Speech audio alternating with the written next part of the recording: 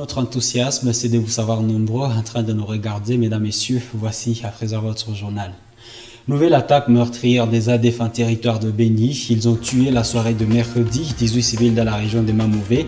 Des sources locales signalent le déplacement des populations vers Oicha.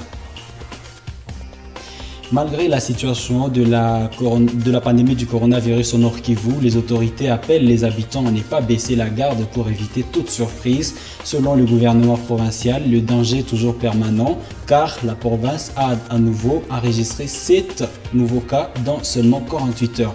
Mesdames, Messieurs, voilà tout pour les sommaires.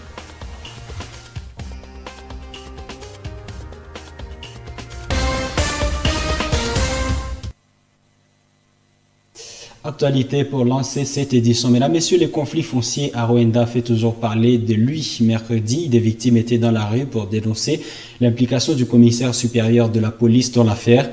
Elles accusent le colonel Richard Mbambi d'avoir spolié une marche, une parcelle euh, le terrain conflictuel, ce qui rejette l'officier de la police. Le colonel Richard Mbambi appelle la population de Boutembo à la citoyenneté responsable en s'abstenant notamment de toute intoxication. On l'écoute dans ses propos recueillis par Eugénie Moussivira. Quand on parle de spoliation, mon ami, quel est l'argent que j'ai moi pour spolier les terrains des civils là où il y a la justice militaire, la justice civile, la société civile, les groupes de pression, donc le, quoi encore, les associations des droits de l'homme. Donc ils vont voir comme ça un commandant de la police spolier un espace de civils. Non, mon ami. C'est parce que certaines personnes sont animées de mauvaises volontés. Je ne suis pas le seul qui possède des MLOP de terre là-bas. À côté de moi, il y a une... Quand il parle de, de, de, de, la partie conflictuelle, à côté de moi, il y a une école. L'école est aussi dans une partie conflictuelle. Point d'interrogation. À côté de moi, il y a des gens qui ont accepté des concessions. Plus grandes d'ailleurs que moi. Est-ce que vous entendez qu'on en parle? Non. Mais c'est le colonel Mbam. C'est là où vous devez savoir, non, il y a quelque chose. Bon, problème il y a justice, il ta solution pour justice. Ce n'est pas dans la rue. Ce n'est pas le simple fait de faire marcher les filles ou les femmes nues ou à des munis qu'on aura la solution. Non. Mon ami, je te dis que si je n'avais pas raison, vous le sauriez déjà. En page sécuritaire, encore une dizaine de personnes, des civils, ont été tués par des rebelles ougandais de l'ADEF ce mercredi 28 octobre à Baeti, village situé aux environs de la localité de Mamouvé, à environ 20 km à l'ouest d'Oicha. La société civile et les autorités locales ont livré un bilan de 18 morts, tous des civils. Raska Koko, détail.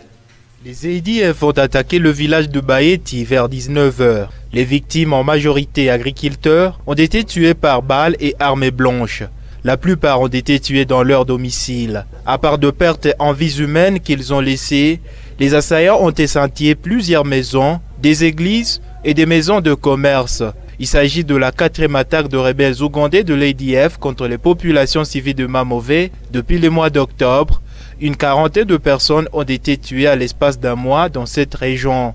Ces situations entraînent un déplacement massif de la population depuis tôt le matin ce jeudi 29 octobre, affirment nos sources dans la région. Depuis plus de six ans, la région de Beni fait face aux attaques récurrentes d'hommes armés assimilés aux rebelles ougandais EDF. Ils tuent de populations civiles, pillent et incendient des biens dans plusieurs localités. Jusque début octobre, des sources concordantes parlent de plus de 4500 morts en six ans. Un conseil extraordinaire des ministres a été tenu mercredi 28 octobre à Goma par le gouverneur du Nord Kivu.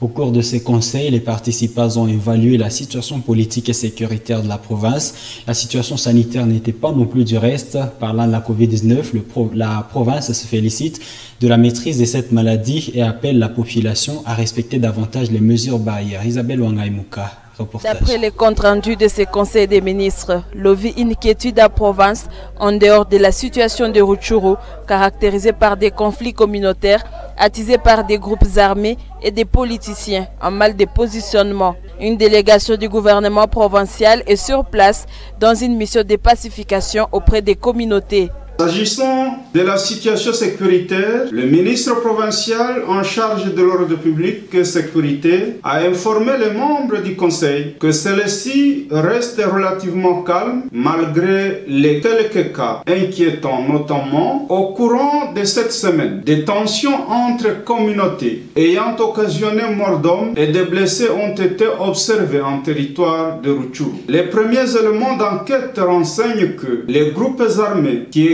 les environs de grandes agglomérations et les politiciens en mal de positionnement seraient à l'origine de ce réveil de tensions. Le Conseil déplore les cas de tueries enregistrés, condamne ces agissements des fauteurs de troubles. Cependant, il invite la population à la tolérance et au pardon mutuel pour consolider l'esprit de cohésion dans la contrée. S'agissant de la COVID-19, la province s'est dit être sur une bonne voie de vaincre cette maladie.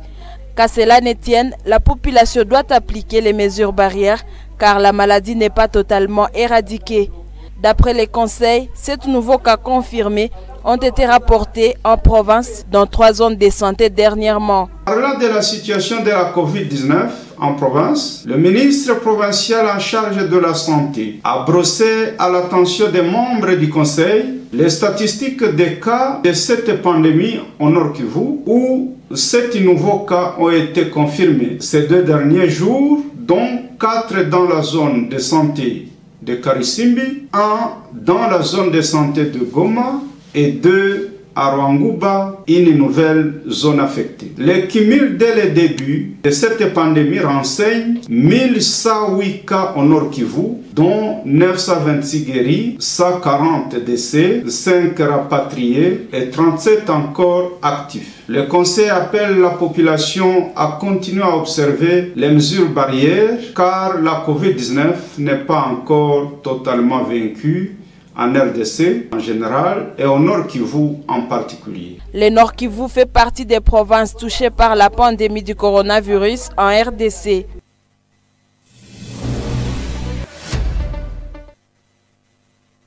En page locale, les championnats de l'entente urbaine de football des Boutembo s'est poursuivi ce jeudi 29 octobre 2020 au stade Matokeo.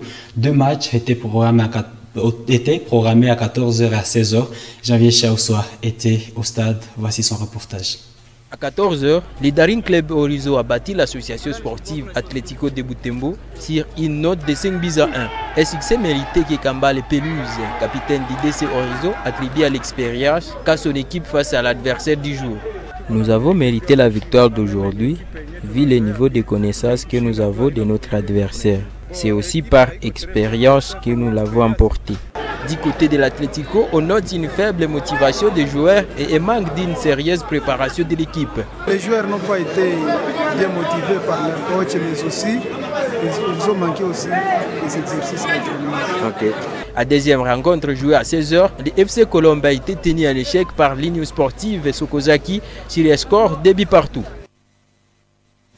Et en Europe, la deuxième journée de la Ligue des champions de l'UEFA s'est clôturée ce mercredi 28 octobre. Plusieurs rencontres ont été à l'affiche, à l'instar de la belle victoire du FC Barcelone sur la Juventus de Turin. Manchester United s'est régalé également sur la Red Bull Leipzig. Voici pour vous un récit que vous nous avez proposé. La soirée du mercredi 28 octobre a été mouvementée dans le vieux continent. C'est à partir de 20h que tout a commencé par la première victoire cette saison de Chelsea dans cette compétition. Les hommes de Frank Lampard l'ont apporté sur Krasnodar par 4 buts à 0 à Stafford Bridge. Au même moment, Lazio Rome accrochait le FC Bridge dans son propre terrain à Belgique, un but partout. Dans d'autres rencontres, le Paris Saint-Germain a eu raison d'Istanbul Basaksehir par 2 buts à 0 alors que Ferencvaros et Dynamo Kiev se sont séparés sur la note paritaire de deux buts partout. À 22h dans un spectacle étant entendu, le FC Barcelone est allé s'imposer sur la Juventus de Turin par un score de 2 buts à 0. Maurizio Sarri a affronté le Barça sans Cristiano Ronaldo en quarantaine pour des raisons sanitaires. Une autre belle affiche de la soirée était Manchester United Leipzig, soldé en faveur des Macuniens. Dans un hall de Trafford vide de téléspectateurs, Rashford et ses coéquipiers ont dominé Leipzig par 5 buts à 0. Pendant que l'Atlético de Madrid s'imposait devant Red Bull Salzbourg par 3 buts contre 2, les voisins du Real Madrid enchaînaient leur série de matchs nuls. Deux buts partout entre le Borussia Gladbach et le Real Madrid. Rennes et Séville ferment cette soirée. Au cours de cette rencontre, les Sévillois vont prendre les déçus sur les Français par la petite note d'un but à zéro. La prochaine étape interviendra dans une semaine, soit à partir du mardi 3 au mercredi 4 novembre.